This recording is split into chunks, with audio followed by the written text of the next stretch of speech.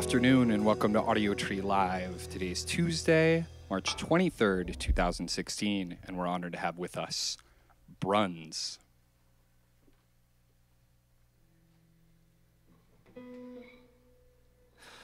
Some sunny day I'll be home again.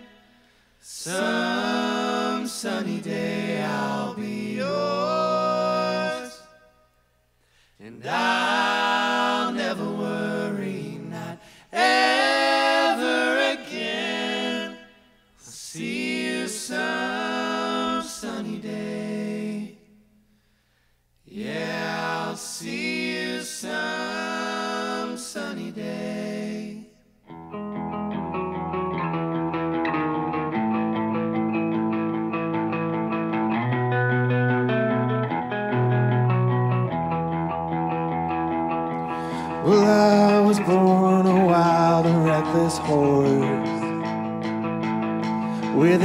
for much more than fences and barn stall doors.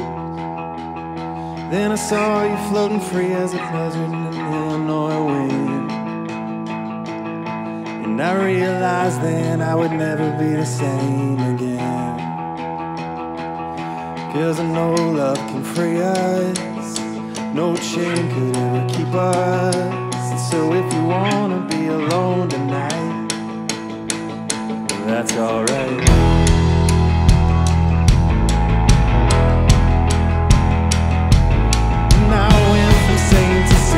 I heard the call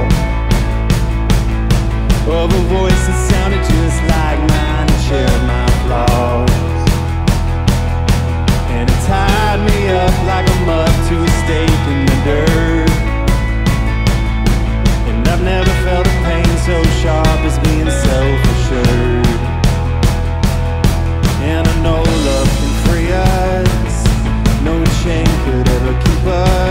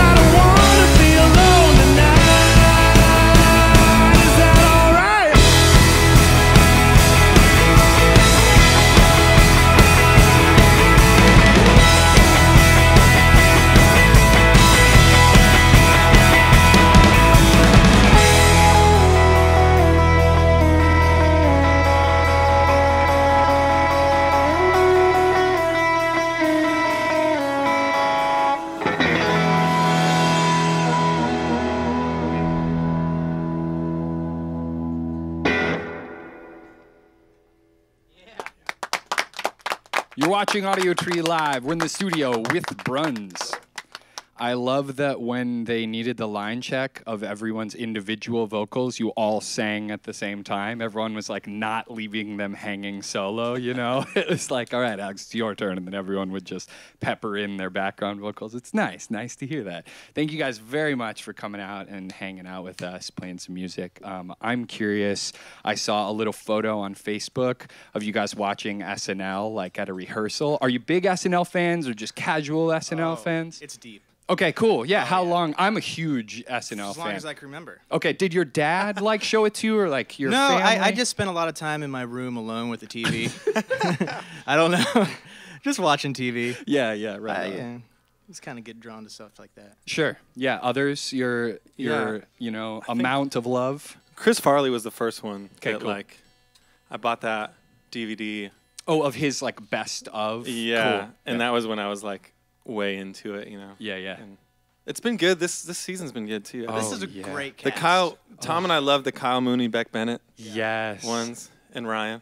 Mm-hmm. They're like inside SoCal characters. They're Yeah, so it's so funny. Yeah. We, and te- we text like clips to each other like on a daily basis. That's great. Yeah. It's like pretty regular. Have you seen his Kyle's stuff that sort of got him known? His digital Oh, stuff yeah. on YouTube. Yeah, outrageous fun and all Yeah, that he stuff. has such a weird, like, such a weird vibe. It's like a natural progression from the uh, Andy Samberg sort of idea, but it's for now, you know? It's just further. Yeah, oh, it's so much further. What do you think makes the cast unique currently? Because I agree. I I think that they're they're so good right now. There's obviously a political element to it and politics. Trump makes free Yeah. humor. There's a lot going on in the world, you Yeah. know, and that always makes the cast not better, but it, it draws more focus to what they're doing. sure. Um, but it's just like a band. Like yeah. it's basically the same chemistry that a band is looking for is what a comedy cast is looking for, I guess. Sure.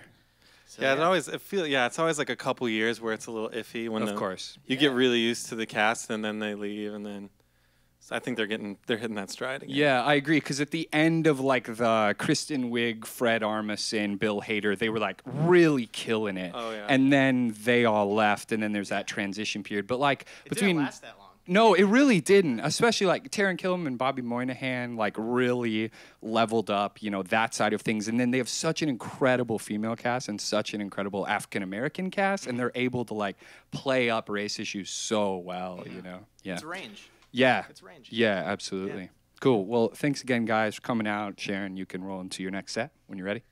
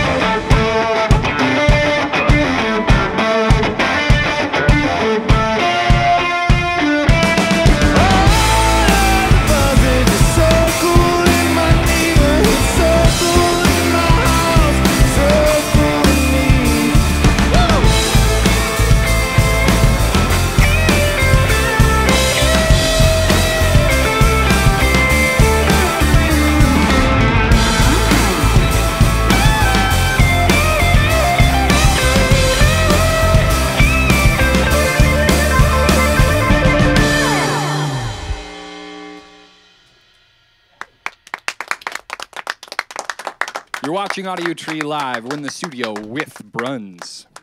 So I read uh, a quote on Facebook that said there was like a photo of you, and it said he's probably saying something like, I wrote it down, take the inversion of the two and a minor four with a suspended seven, and it'll sound good. Some joke, I suppose, a music theory Oh, joke or something. Yeah, like that's that. about Tom. Okay, about Tom. Tom is like, well, these guys all, I think everyone but me, like, can read music and study music and all that crap. okay. okay.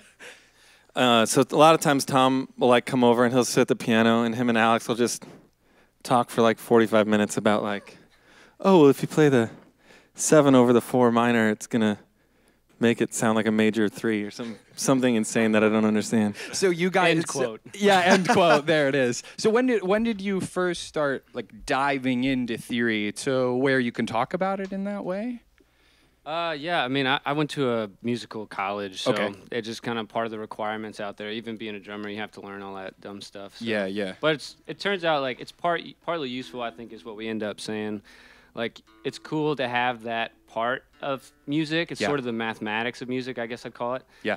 and uh, a little less of the creative side, I guess, of it. You know, um, so it's nice to have both sides of that. I mean, it's fun for Alex and Ryan and Kyle and I to talk about like the math side of things, but uh, really you got to connect with people, you know. So Sure. sometimes you know the seven over the four minor or whatever it isn't going to do that. you know? Yeah, yeah, right on. How do you? Yeah, I mean, uh, what's your perspective on that? Because you've expressed that you're not super interested, in it, or maybe that you're not interested, but that you just haven't committed to it. Yeah, I mean, I I love like songs that have like two chords. Okay. I'm like, oh, that song only has two chords. Cool.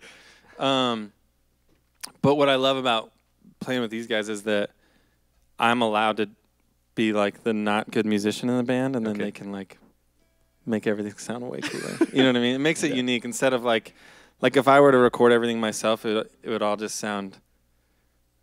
It, it just wouldn't sound good. I I don't have a good. He's analogy, lying. but- He's great. Like, okay, yeah. He's got to get more credit. Being than that. humble, yeah. But you guys are the ones who are then, like you're saying, sort of analyzing it in yeah, that so mathematical there was way. a song on our last EP called "On My Own," and Tim. That was one of the first songs Tim and I worked on together Okay, when cool. we started, and it was a simple three-chord song, and we started rehearsing it once like we got Tom on board, and uh, we reharmonized everything. We rewrote all the chords, made it a lot more powerful. His because his lyrics, you know, require a certain amount of depth, Right. and it just wasn't happening with his three chords. Okay. So that is one example I think where it worked really well. Right. Yeah, and especially with I mean you guys are doing so much vocal harmony that there's got to be some level of like equation to that. The that, thing right? is, he hears all that without understanding it. right. Tim mm-hmm. hears all that. that like He's dumb, but he's not. He's know? dumb but he's talented. So that's his we're that's just his and. I, I refuse to understand Tim and his creative side because it makes it hard to communicate sometimes because I'm like, just do that one, do that one part that's like it's like either the third or the fourth. It might be the fifth. You're like, uh, It's one of the notes. You're like, yeah, one of those notes. Yeah, we had a we had a band in the other day who was trying to tell a trumpet player. He plays trumpet. He was trying to tell a trumpet player what notes to play, and he and he's like, just uh, two fingers down and uh, play. No, higher. No, uh, your lips have to be tight. Oh, just give me it. And like then he would play it and like, okay, just do that instead. It is interesting that there's a, a disconnect in the language there a little bit, but yeah, cool, cool that it works out. Um, you guys can roll into your next one when you're ready.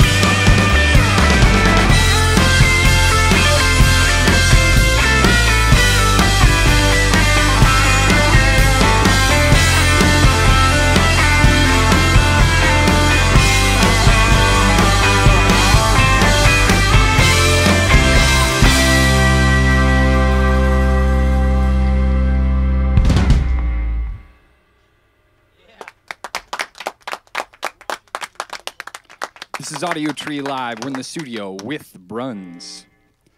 So, Tim, you were born and raised in Denver, thereabouts? Yeah. Okay, cool. And then others, uh, are you guys Nash- Nashvillians by by birth? We're all transplants, I guess you'd say. Okay, yeah. okay, cool. Uh, when when did you move, Tim? Two two years ago or three years Yeah, ago? about two. About two. yeah. Okay, cool. What's what's the difference? And you guys can speak on this too, um, in terms of your maybe the influence of like songwriting in those two places. The, there's an obvious, um, I guess, geographical difference, but as far as maybe the culture of the cities goes, or something Yeah. like that. Musically, Denver was is a really great city for music. Right. Um, there's a lot of really cool stuff happening there. There, it's it's different than Nashville because Nashville is so it's such a song-based town Mm. that like everywhere you look, everyone's a great songwriter. They're all you know, everyone in this band writes songs. I just don't let them sing anymore. uh, no, um, but in Denver, it was more like there was a lot more unique stuff happening that was really cool. Okay. Like, and it was just smaller. So it's you know, Nashville. Everyone, everywhere you go, Is in a band. you know, your waiter, your barista, whoever is all going to be in a band hmm or doing something in music. You know, which is a great thing. Um, but it's also just there's just a lot of it. So Yeah. But- Others on that are agreed. Agreed. Okay.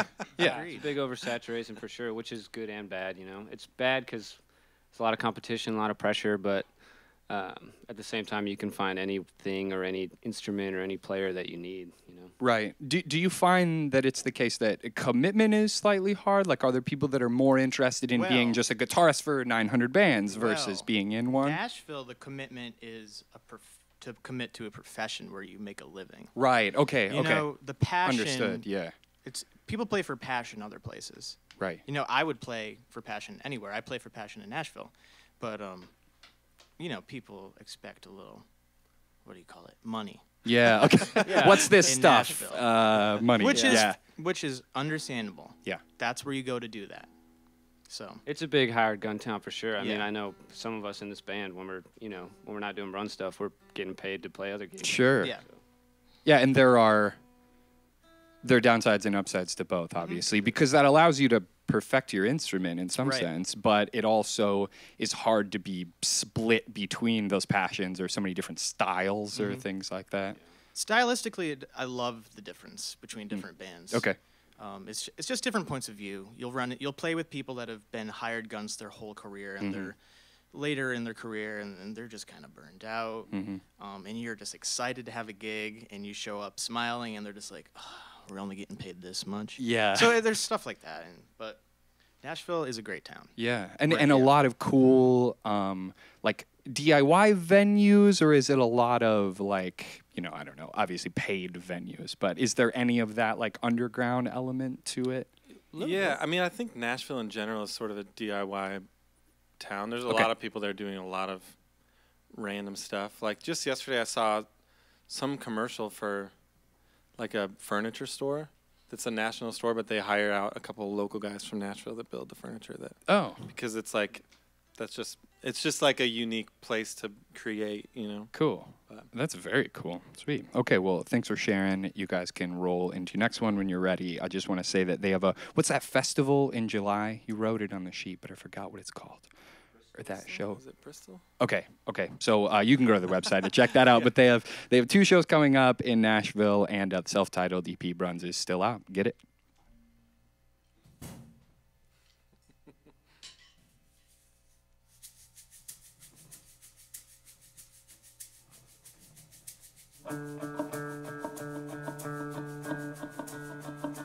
Every line you ever loved from old movies. Every boy that really made you laugh. I wanna know where you began. I wanna hear you start again. So start again. Every hurt you felt so deep it just destroyed you. Every joy that made you come back around. I wanna know what cut your soul, and when you hide,